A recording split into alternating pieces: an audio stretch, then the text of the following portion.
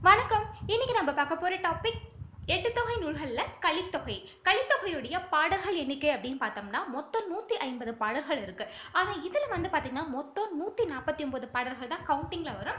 So மீதி ஒரு பாடல் எது அப்படின்னு பார்த்தீங்கன்னா கடவுள் வாழ்த்துங்க. அந்த கடவுள் வாழ்த்தோட சேர்த்துனது தான் வந்து பார்த்திங்கன்னா மொத்தமாக நூற்றி ஐம்பது பாடல்கள். ஸோ கடவுள் வாழ்த்து ஒரு பாடல். ஸோ இதில் க பாடல்கள் கவுண்டு அதாவது ஐந்து திணைகள் இருக்கும் இல்லைங்களா? அந்த ஐந்து திணைகள் நம்ம கவுண்ட் பண்ணோம்னா மொத்தமாக நூற்றி நாற்பத்தி ஒம்பது பாடல்கள் வரும். ஸோ கடவுள் வாழ்த்தோடு சேர்த்துனோம்னா மொத்தம் நூற்றி ஐம்பது பாடல்கள் சரிங்களா? ஸோ இந்த கலித்தொகையும் வந்து பார்த்திங்கன்னா ஐந்து திணைகளாக பகுத்து அந்த ஐந்து திணைகளையும் வந்து பார்த்திங்கன்னா ஆசிரியர்கள் படிப்பாங்க ஆனால் ஐங்குறுநூறுக்கும் கலித்தொகைக்கும் உள்ள வித்தியாசம் என்ன அப்படின்னு பார்த்தீங்கன்னா ரெண்டுமே ஐந்து திணைகளாக பரி ப- பிரிச்சிருப்பாங்க. ஆனால் ஐங்குறுநூறில் வந்து ஈக்குவலாக இருக்கும். ஒவ்வொரு திணைக்கும் நூறு நூறு பாடல்கள் டோட்டலாக ஐநூறு அப்படின்ட்டு இருக்கும். ஆனால் கலித்தொகையில் வந்து பார்த்திங்கன்னா ஒவ்வொரு திணைக்கும் வந்து பார்த்திங்கன்னா அந்த பாடல்கள் நம்பர் பாடல்கள் எண்ணிக்கை அப்படிங்கிறது வேரி ஆகும். சரிங்களா? அதுதான் இதில் வித்தியாசம். சரிங்களா? இதில் அதே மாதிரி தான் ஒவ்வொரு திணையும் பாடினவர்கள் வந்து பார்த்திங்கன்னா வேறு வேறு நபர்களாக இருப்பாங்க. ஆனால் குறிஞ்சி திணை மட்டும் வந்து பார்த்திங்க அப்படின்னா ஐங்கூறு நூறில் பாடினவரும் கலித்தொகையில் பாடினவரும் குறிஞ்சி திணைக்கு ஒரே நபர் தான் அவர் யார் அப்படின்னா கபில். சரிங்களா? ஸோ இப்போ பார்க்கலாமா? இதில் இன்னொரு விஷயமும் இருக்குங்க. ஸோ ஐங்கூறு நூறை பொறுத்தவரையிலும் அந்த திணைகள் வந்து ஆர்டராக இருக்கும். அதாவது குறிஞ்சியில் ஸ்டார்ட் ஆகி பாலையில் முடியும். ஆனால் கலித்தொகையில் வந்து பார்த்திங்கன்னா அந்த ஆர்டர் வந்து பார்த்திங்கன்னா கொஞ்சம் ஷஃபிளாக இருக்கும். நல்லாவே ஷஃபிளாக இருக்கும். அந்த ஷஃபிளான ஆர்டர் தான் கரெக்டான ஆர்டர் சரிங்களா? இதை கூட கேள்வியில் கேட்க வாய்ப்பு இருக்குது ஸோ கலித்தொகையில் உள்ள திணைகளை வரிசைப்படுத்துதான் கொடுத்துட்டு இந்த குறிஞ்சியிலேருந்து அந்த பாலை வரலும் திணைகள் கொடுத்துட்டு கலித்தொகையில் எந்த திணை வரிசையில் வந்து பார்த்திங்கன்னா அதை வகைப்படுத்தியிருப்பாங்க அப்படின்னா இந்த திணை தான் நீங்கள் கரெக்டாக எழுதணும் சரிங்களா? ஸோ அதில் ஃபஸ்ட்டு வந்து பார்த்திங்கன்னா பாலை திணை. இதை ஆர்டர் பண்ணுறதுக்கான ஷார்ட்கட் சொல்கிறேன் இது நம்ம லாஸ்ட்லேருந்து போயிடலாம். குறிஞ்சியிலேருந்து பாலை இருக்கா? அந்த அதுதான் கரெக்ட் ஆக்சுவலி கரெக்டான ஆர்டர் ஸோ கலித்தொகையில் எந்த ஆர்டரில் வச்சுருக்காங்க அப்படிங்கிறத இப்போ நம்ம பார்க்க போகிறோம் ஸோ இந்த லாஸ்ட்லேருந்து நம்ம இது ஷார்ட்கட் போயிடலாம். லாஸ்ட் திணை என்ன திணை? பாலை திணை. அந்த பாலை திணையை முதலாவதாக போட்டுக்கோங்க. இப்போ லாஸ்ட் முடிஞ்சுதா? பாலை திணைக்கு முன்னாடி இருக்க நாலாவது திணை என்ன? நெய்தல் திணை. அந்த நெய்தல் திணையை பாலை திணையை ஃபர்ஸ்ட்டாக போட்டுட்டோம். நெய்தல் திணையை லாஸ்ட்டாக போட்டுக்கோங்க. சரிங்களா? நெய்தல் திணையை லாஸ்ட்டாக போட்டுக்கிட்டோமா? நெக்ஸ்ட்டு மூணாவதாக வர திணை எது? கடைசியிலேருந்து மூணாவது வர திணை எது? நெய்தல் சாரி மருத திணை. சரிங்களா? மருத திணை வந்து பார்த்திங்கன்னா ஃபர்ஸ்ட்லேருந்து பார்த்தாலும் சென்டரில் இருக்கும் லாஸ்ட்லேருந்து பார்த்தாலும் சென்டரில் இருக்கும். ஆக்சுவலி இது மூணாவதாக வரதுனால முன்னாடி ரெண்டு பின்னாடி ரெண்டு சென்டரில் தான் இருக்கும். அதனால இங்கேயும் நம்ம சென்டர்லேயே போட்டுடலாம். ஸோ மருத திணை வந்து சென்டரில் வந்துடும் சரிங்களா? இப்போ நம்ம லாஸ்ட்லேருந்து தானே போயிட்டுருக்கோம் இப்போ ரெண்டாவதாக இருக்க திணை என்னது? முல்லை திணை ஸோ இந்த முல்லை திணையை வந்து நம்ம லாஸ்ட்டுக்கு முன்னாடி போட்டுக்கலாம். சரிங்களா? முல்லை திணையை லாஸ்ட்டுக்கு முன்னாடி போட்டுக்கலாம். அடுத்து அதுக்கு மேலே போயிட்டோம்னா குறிஞ்சி திணை. குறிஞ்சி திணை வந்து மீதி என்ன? ரெண்டாவது இடத்துல போட்டுடலாம். ஏன்னா குறிஞ்சிங்கிறது ஃபஸ்ட்டுங்கிறனால ஃபஸ்ட்டு வந்து பாலை ஆக்குவே பண்ணதுனால வந்து ரெண்டாவது இடத்துல குறிஞ்சியை போட்டுடலாம். சரிங்களா? இதுதான் ஆர்டர் சரிங்களா? இந்த ஆர்டர் அந்த ஃபஸ்ட்டும் லாஸ்ட்டு சென்டரும் போட்டுட்டீங்கன்னா மீதி நீங்கள் போட்டுடலாம். ஏன்னா குறிஞ்சி வந்து நம்ம முதல்ல எழுத வேண்டியது. முதல்ல பாலை வந்ததுனால அதை ரெண்டாவதாக போட்டுக்கோங்க. முல்லை துணியை நீங்கள் நாலாவதாக போட்டுக்கலாம். ஈஸியாக சரிங்களா? இந்த திணையை நான் மறுபடியும் ஒரு டைம் சொல்கிறேன் பாருங்கள் ஐந்து திணைகளை கலித்தொகையை பொறுத்தவரையிலும் இந்த ஆர்டரில் தான் எழுதணும். அந்த ஆர்டரை எப்படி ஷார்ட்கட்டில் ஞாபகம் வச்சுக்கலாம் அப்படின்னா வரிசையான திணைகளில் ஐந்தாவது திணை இருக்குள்ள பாலை திணை அதை வந்து இதில் முன்னாடி போட்டுக்கணும். இந்த அதுக்கு முன்னாடி இருக்க நாலாவது திணையான நெய்தல் திணையை கடைசியாக போட்டுக்கணும். ஸோ பாலை திணை முதல்ல ஐந்தாவது திணை சாரி நெய்தல் திணை வந்து ஐந்தாவதாக போட்டுக்கணும். ஸோ அந்த மருத திணை வந்து பார்த்திங்கன்னா சென்டரில் தான் மருத திணை வரும் மூணாவதாக அது கா ரெண்டுக்குமே லாஸ்ட்லேருந்து பார்த்தாலும் சென்டர் ஃபர்ஸ்ட்லேருந்து பார்த்தாலும் சென்டர் வரதுனால மருத திணையை சென்டர்லேயே போட்டுக்கோங்க அடுத்து பார்த்தீங்கன்னா குறிஞ்சி திணை குறிஞ்சி திணை. குறிஞ்சி திணை வந்து ஆக்சுவலி ஃபஸ்ட்டில் தான் எப்பயுமே வரும். அது ஃபஸ்ட்டில் பாலை வந்ததுனால அதை ரெண்டாவதாக போட்டுக்கோங்க. மீதி இருக்கிறது என்ன? முல்லை திணை. முல்லை திணையை நாலாவதாக போட்டுக்கோங்க. முடிஞ்சுதான் அவ்வளோதாங்க இதுதாங்க இந்த கலித்தொகையுடைய அந்த திணைகளுடைய ஆர்டர் சரிங்களா?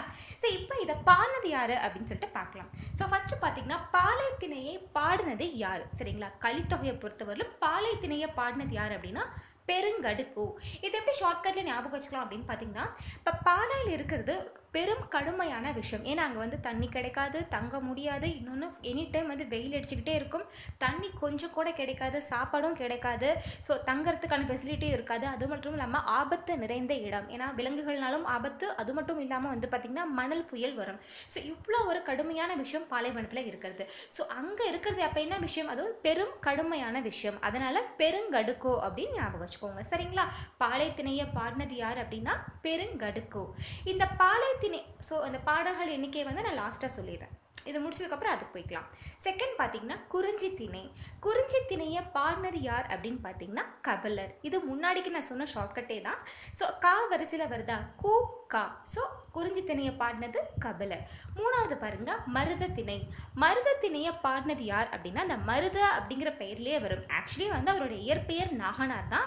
அவர் மருத திணையை பாடினதுனால மருத நில நாகனார்னு பெயர் வச்சிருப்பாங்க. சரிங்களா? ஸோ இந்த மாலையே அவருடைய பெயரும் வரும்னு ஞாபகம் வச்சுக்கோங்க. மருத மருத அப்படியே வரும். மருத நில நாகனார். ஸோ வெறும் நாகனார்லாம் கொடுக்க மாட்டாங்க. ஆப்ஷனில் மருத நில நாகனார் தான் கொடுப்பாங்க. ஸோ மருத திணையை பாடினது மருத நில நாகனார்.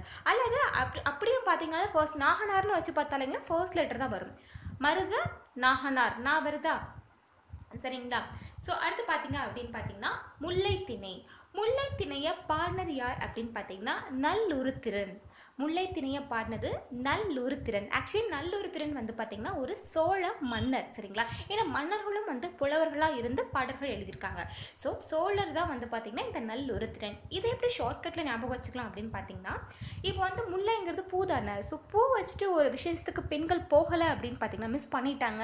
அல்லது ஏதோ ஒரு விஷயத்தில் மறந்துட்டாங்க அப்படின்னா அவங்களுக்கு உருத்தும். ஏன்னா எல்லாரும் பூவை வச்சுட்டு வருவாங்க. ஸோ அந்த பெண்களுக்கு வந்து உருத்தும் சரிங்களா? ஸோ எக்ஸாம்பிள் வந்து பார்த்தீங்கன்னா எங்கள் அம்மாவே வந்து பார்த்தீங்கன்னா நான் பெருசாக அவ்வளோ இன்ட்ரெஸ்ட் காமிக்க மாட்டேன். இன்கேஸ் ஏதாவது ஒரு டைம் இல்லாமல் அதை வாங்க முடியாமல் போயிட்டு எங்கள் மம்மி ரொம்ப ஃபீல் பண்ணாங்க ஐயோ பூ வைக்கலையே பூ வைக்கலையே அப்படின்ட்டு.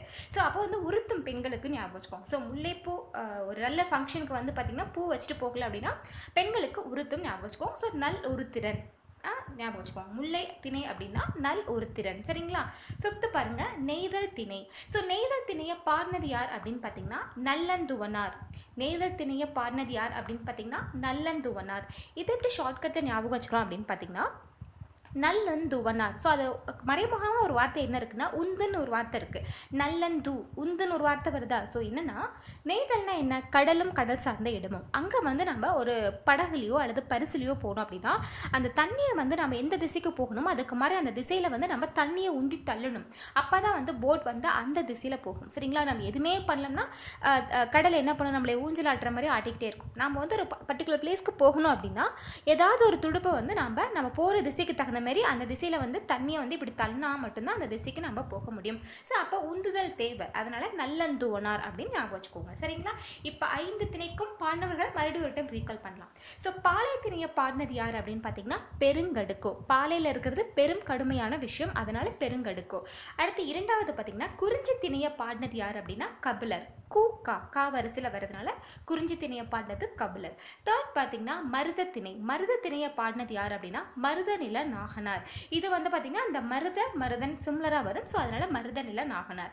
நாலாவது பார்த்தீங்கன்னா முல்லை திணை முல்லை திணையை பாடினது யார் அப்படின்னு பார்த்தீங்கன்னா நல்லுருத்திரன். ஸோ முல்லை ஏதாவது ஃபங்க்ஷனுக்கு போகிறப்ப முல்லைப்பூ சூட்டிட்டு போகுதுன்னா பெண்களுக்கு வந்து உருத்தும். ஸோ நல்லுருத்திறன் அப்படின்னு ஞாபகம் வச்சுக்கோங்க. ஐந்தாவது பார்த்திங்க அப்படின்னா நெய்தல் திணை நெய்தல் திணையை பாடினது யார் அப்படின்னா நல்லந்துவனார். ஸோ இப்போ வந்து நெய்தல்னா கடலும் கடல் சார்ந்த இடமா? ஸோ அதில் போகிறப்ப வந்து நம்ம உந்துணும். சரிங்களா? நம்ம பர்டிகுலர் பிளேஸை ரீச் பண்ணோம் அப்படின்னா அந்த திசைக்கு தகுந்த மாதிரி தண்ணி தண்ணியை உந்தி தள்ளணும் அதனால நல்லந்துவனார் அப்படின்னு ஞாபகம் வச்சுக்கோங்க. சரிங்களா? இப்போ இந்த ஐந்து திணைக்குரிய பாடல்களின் எண்ணிக்கை என்னென்ன அப்படின்னு தான் பார்க்க போகிறோம் சரிங்களா? ஸோ இதில் வந்து பார்த்தீங்க அப்படின்னா நான் வந்து கொஞ்சம் ஆர்டர் மாற்றி மாற்றி சொல்கிறேன் உங்களுக்கு ஈஸியாக இருக்கணுங்கிறக்கா லாஸ்ட்டில் இருந்து போயிடலாமா? ஃபஸ்ட்டு பார்த்து லாஸ்ட்டு பாருங்கள் நெய்தல் திணை. ஸோ நெய்தல் திணையுடைய பாடல்களின் எண்ணிக்கை அப்படின்னு பார்த்தீங்கன்னா முப்பத்தி மூணு. இதை எப்படி ஷார்ட்கட்டில் ஞாபகம் வச்சுக்கலாம் அப்படின்னு சொன்னால் போன பாட்டிலையும் நான் சொன்னேன் இல்லைங்க நெய்தல் அப்படின்னா சிமிலராக இருக்கணும். சரிங்களா? அதாவது கடல் நெய்தல்னா கடலும் கடல் சார்ந்த இடமுமா? ஸோ அப்போ கடலில் நம்ம ஒரு பரிசுலையோ ஒரு சின்ன ஒரு போட்லேயோ நம்ம போகிறப்ப அதில் வந்து பார்த்திங்கன்னா ஈக்குவலான மெம்பர்ஸ் இருக்கணும். இல்லைன்னா போர்ட் வந்து பார்த்திங்கன்னா ஒரு பக்கமாக சாஞ்சிரும். ஸோ அதனால் இந்த கார்னரில் ஒருத்தர் இந்த கார்னரில் ஒருத்தர் சென்டரில் ஒருத்தர் அம்மு ஓனர் அப்படின்னு போன பாட்டில் சொ- இது போன பாட்டுக்கு வேறு அம்மு ஓனர் சரிங்களா? இதில் வந்து பார்த்திங்கன்னா நல்லந்தோனர் இது இது இதுக்கெல்லாம் ரொம்ப ஷார்ட்கட் சொல்ல முடியாது. நீங்கள் தான் வந்து அதை தெளிவாக புரிஞ்சுக்கணும் சரிங்களா? இப்போ நெய்தல் திணியை பாடினது நல்லந்தோனார் ஸோ நெய்தல் திணியுடைய பாடல்களின் எண்ணிக்கை முப்பத்தி மூணு. அந்த மூணு பேர் இருக்கணும் ஒரு போர்ட்லன்னு சொன்னேன்னா அதனால மூணு பேர் அப்படிங்கிறதுனால த்ரீ த்ரீ அப்படின்னு ஞாபகம் வச்சுக்கோங்க. மூன்று மூன்று முப்பத்தி மூன்று பாடல்கள். சரிங்களா? அடுத்து பாருங்க லாஸ்ட்லேருந்து ரெண்டாவது. முல்லைத்திணை. முல்லைத்திணையுடைய பாடல்களின் எண்ணிக்கை அப்படின்னு பார்த்தீங்கன்னா பதினேழு. இதை எப்படி ஷார்ட்கட்டில் ஞாபகம் வச்சுக்கலாம் அப்படின்னு பார்த்தீங்கன்னா எப்பயுமே மல்லிகைப்பூ ஒரு என்ன சொல்கிறது முக்கியமாக வெயில் காலத்துலலாம் வந்து பார்த்தீங்கன்னா மல்லிகைப்பூ வந்து பார்த்தீங்கன்னா ரொம்பவே ரேட் அதிகமாக இருக்கும். ஒரு முழமே வந்து பார்த்தீங்கன்னா நூறுரூவா ரேட்டெல்லாம் வந்து இருக்கிற அளவுக்குலாம் இருக்காங்க ஏன்னா அந்த அளவுக்கு ப்ரைஸ் வந்து அது ஏறும். சரிங்களா? ஸோ அப்போ வந்து ஏழைகள் வந்து கொஞ்சம் மிடில் கிளாஸ் ஃபேமிலியோ அல்லது லோ கிளாஸ் ஃபேமிலியோ வந்து நம்மளால் வாங்குறது கஷ்டம். ஸோ அதனால என்ன பண்ணுவாங்க அப்படின்னா அவங்க வந்து மல்லிகைப்பூ வாங்குற டைமில் அந்த இடத்துல வந்து பார்த்திங்கன்னா முல்லைப்பூ வந்து ப்ரிஃபரன்ஸ் கொடுத்து வாங்குவாங்க. சரி சரிங்களா? ஸோ அதனால் முல்லைத்திணை அப்படின்னா ஏழைகள் அப்படின்னா ஏழு அப்படின்னு ஞாபகம் வச்சுக்கோங்க. ஒன் செவன் ஸோ பதினேழு. முல்லைத்திணையை பாடினது யார் அப்படின்னா? பாட பா முல்லைத்திணையுடைய பாடல்களின் எண்ணிக்கை அப்படின்னு பார்த்தீங்கன்னா பதினேழு. ஸோ ஏழைகள் வந்து முல்லைப்பூவை செலக்ட் பண்ணுவாங்க. சரிங்களா? அடுத்து பாருங்கள் தேர்டு சரிங்களா? தேர்ட் என்ன அப்படின்னு பார்த்தீங்கன்னா மருதத்திணை ஸோ மருதத்திணையுடைய பாடல்களின் எண்ணிக்கை அப்படின்னு பார்த்தீங்க அப்படின்னா முப்பத்தி ஐந்து. இதை எப்படி ஷார்ட்கட்டை ஞாபகம் வச்சுக்கலாம் அப்படின்னா இப்போ மருதம் அப்படின்னா என்ன? வயலும் வயல் சார்ந்த இடமும். ஸோ காட்டில் எப்பயுமே வந்து பார்த்திங்கன்னா மோஸ்ட்லி நல்லா வேலை செய்வாங்க. மூணு வேலையும் வந்து வேலை செய்கிற மாதிரி இருக்கும். நிறைய டைமில் வந்து ஏன் அப்படின்னு பார்த்தீங்கன்னா அந்த மூணு வேலை மூணு வேலை சாப்பாட்டுக்காக தான் ஆக்சுவலி இந்த மூணு வேலை வேலை செய்கிற மாதிரி வராது. அஞ்சு வேலை வேலை செய்கிற மாதிரி கூட சில டைம் வரும். சரிங்களா? ஏன்னா விவசாயம் அப்படிங்கிறது வந்து நம்ம நார்மலாக வந்து நைன் டு ஃபைவ் ஜாப் கிடையாது. ஸோ வந்து விதைக்கிறப்ப வே வேலை நிறையா இருக்கும். அறுவடை செய்கிறப்ப வேலை நிறையா இருக்கும். ஸோ இப்படி வந்து டிஃபர் ஆகும் அது. சரிங்களா? ஸோ மொத்தத்தில் மூணு வேளை நம்ம சாப்பாட்டுக்காக தான் அஞ்சு வேளை கஷ்டப்படுறோம் ஞாபகம் வச்சுக்கோங்க. சரிங்களா? ஏன்னா விடிய கால காலையில் மதியம். ஏன்னா வந்து களை எடுக்கணும் அப்படின்னு பார்த்தீங்கன்னா ஃபுல் அண்ட் ஃபுல் ஒர்க் பண்ணுற மாதிரி இருக்கும். ஸோ சில டைம் வந்து நை மழை பெய்யுது அப்படின்னா போய் வந்து எல்லாமே வந்து கிளியர் பண்ணி விடுவாங்க. தண்ணிலாம் தேங்கி இருந்தால் அதை உடச்சி விடுவாங்க. ஸோ அவங்களுக்கு வந்து அஞ்சு ஐந்து வேலைகளும் வேலை இருக்க மாதிரி இருக்கும். மூணு வேளை சாப்பாட்டுக்காக ஐந்து வேலையும் உழைக்கிற மாதிரி இருக்கும். அதுதான் வந்து மருதத்திணை ஸோ மருதத்திணைனா வயலும் வயல் சார்ந்த இடமும். மூணு வேலை உணவுக்காக ஐந்து வேலையும் வேலை செய்கிறதா வந்து மருதத்திணை ஸோ முப்பத்தைந்து பாடல்கள். இதே மாதிரி பார்த்தீங்கன்னா பாலைத்திணைக்கும் முப்பத்தைந்து பாடல்கள் இருக்கும். அதை எப்படி ஞாபகம் வச்சுக்கலாம் அப்படின்னு பார்த்தீங்கன்னா பாலை இப்போ பாலைத்திணையிலையும் வந்து பார்த்திங்கன்னா நிறைய பேர் வாழ்கிறாங்க அங்கே ஒட்டகத்தெல்லாம் வச்சுட்டு அங்கேயும் வந்து கடை வச்சுட்டு ஸோ அங்கேயும் வந்து வாழ்கிற சில மக்கள் வாழ்கிறாங்க ஸோ அவங்க ஏன் அவ்வளோ கஷ்டப்பட்டு வாழ்கிறாங்கன்னா அதே மூணு வேளை சாப்பாட்டுக்காக அஞ்சு வேலையும் கஷ்டப்படுறாங்க. ஏன்னா அங்கே தண்ணி கூட கிடைக்காது. அந்த தண்ணிக்காக நம்ம கஷ்டப்பட்டு எங்கேயாவது வந்து கொண்டு வந்து அதை பார்த்து பார்த்து செலவு பண்ணணும். அங்கே சாப்பாடும் கிடைக்காது. அதுக்கும் நம்ம இங்கே நிறையா வந்து எஃபோர்ட் போடுற மாதிரி இருக்கும். ஸோ மூணு வேளை சாப்பாட்டுக்காக அங்கேயும் அஞ்சு வேலை கஷ்டப்படுவாங்க. ஸோ மருதத்திணையிலையும் பாளையத்திணையிலையும் மூணு வேலைக்காக மூணு வேளை சாப்பாட்டுக்காக அஞ்சு வேளை கஷ்டப்படுவாங்க. ஸோ த்ரீ ஃபைவ் முப்பத்தைந்து பாடல்கள் அப்படின்னு ஞாபகம் வச்சுக்கோங்க. ஸோ மீன் இருக்கிறது என்ன? குறிஞ்சி திணை. ஸோ குறிஞ்சி திணையுடைய பாடல்களின் எண்ணிக்கை அப்படின்னு பார்த்தீங்கன்னா இருபத்தி ஒன்பது. சரிங்களா? இதை எப்படி ஞாபகம் வச்சுக்கலாம் அப்படின்னா குறிஞ்சினா என்ன மலையும் மலை சார்ந்த இடமும். ஸோ மலை அப்படின்னாவே வந்து பார்த்தீங்க அப்படின்னா ஸோ இப்போ மலைக்கு நம்ம வந்து ட்ரக்கிங் போகிறோம் அப்படின்னா கண்டிப்பாக வந்து ஒருத்தர் போகவே முடியாது இன்னொருத்தர் கூட துணைக்கு தான் வேணும் சரிங்களா? மலையில் ஏறுறாங்க இல்லைங்களா எவரெஸ்ட் சீக்கிரம் அதே மாதிரி நிறைய பேர் மலைக்கு ட்ரக்கிங் தனியாக போவாங்க சரிங்களா? கண்டிப்பாக ஒருத்தர் போக முடியாது ஒரு குரூப் ஆஃப் பீப்புள் தான் போவாங்க. ஸோ அப்படியா இருந்தாலுமே அட்லீஸ்ட் ஒரு ரெண்டு பேர் அப்படிங்கிறது கண்டிப்பாக ஒரு ரெண்டு பேராவது ஒருத்தருக்குள்ள ஒருத்தர் இருக்கணும் சரிங்களா? ஹெல்ப்புக்காக சரிங்களா? ஸோ அதனால் ரெண்டு பேர் இருந்தால் தான் இந்த நைன் அப்படிங்கிறது பார்த்திங்கன்னா குச்சி மாதிரி இருக்கும் மேலே தான் வந்து அந்த ரவுண்ட் இருக்கும். ஒன்பது அப்படிங்கிறதே நம்ம மேலே தான் உச்சின்னு குறிப்போம் அப்போ அங்கே போகிற என்ன அவங்களோட எய்ம் என்ன? அந்த உச்சிக்கு போகணுங்கிறத எய்ம் அந்த மேலே உச்சிங்கிறதுனால நைன் சரிங்களா? ஏன்னா சிக்ஸு மற்ற எல்லா நம்பருக்கும் எயிட்னா ரெண்டு இது வரும் சிக்ஸ்னால் கீழே மட்டும் தான் வரும். ஆனால் நைனில் தான் வந்து மேலே ரவுண்ட் வரும். அதுதான் மெயின் ஸ்பாட் உச்சிக்கு போகிறது தான் main spot so twenty nine ஞாபகம் வச்சுக்கோங்க. ஸோ ட்ரெக்கிங் மலைப்பகுதிக்கு போனால் ரெண்டு பேர் பார்க்கணும். ரெண்டு பேர் போனால் தான் வந்து சப்போர்ட்டிவாக இருந்தால் மட்டும்தான் மேலே அந்த உச்சியை ரீச் பண்ண முடியும். ஸோ அதனால் இருபத்தி ஒன்பது அப்படின்னு ஞாபகம் வச்சுக்கோங்க. சரிங்களா? இந்த பாடல்கள் எண்ணிக்கை ஒரு டைம் ரீகால் பண்ணிடலாம். ஸோ இதில் பார்த்தீங்க அப்படின்னா நான் எந்த ஆர்டரில் சொன்னால் அந்த ஆர்டரில் சொல்கிறேன் நெய்தல் திணை. நெய்தல் திணையுடைய பாடல்களின் எண்ணிக்கைன்னு பார்த்தீங்கன்னா மூன்று முப்பத்தி மூன்று ஏன் அப்படின்னா ஒரு போட்டில் மூணு பேர் இந்த பக்கம் ஒருத்தர் அந்த பக்கம் ஒருத்தர் சென்டரில் ஒருத்தர் உட்காந்து தான் அந்த போட் பேலன்ஸ்டாக போகும். ஸோ அதனால் மூன்று மூன்று அப்படின்னு ஞாபகம் வச்சுக்கோங்க. சரிங்களா? முப்பத்தி மூன்று அதுக்கப்புறம் முல்லை திணையுடைய பாடல்களின் எண்ணிக்கைன்னு பார்த்தீங்கன்னா பதினேழு. இதே எப்படி ஞாபகம் வச்சுக்கோங்க அப்படின்னு பார்த்தீங்க அப்படின்னா ஸோ ஏழைகள் வந்து பார்த்தீங்க ஏழைகள்ங்கிறதுனால ஏழு ஏழைகள் ஏழு. ஸோ ஏழு ஞாபகம் வச்சுக்கோங்க.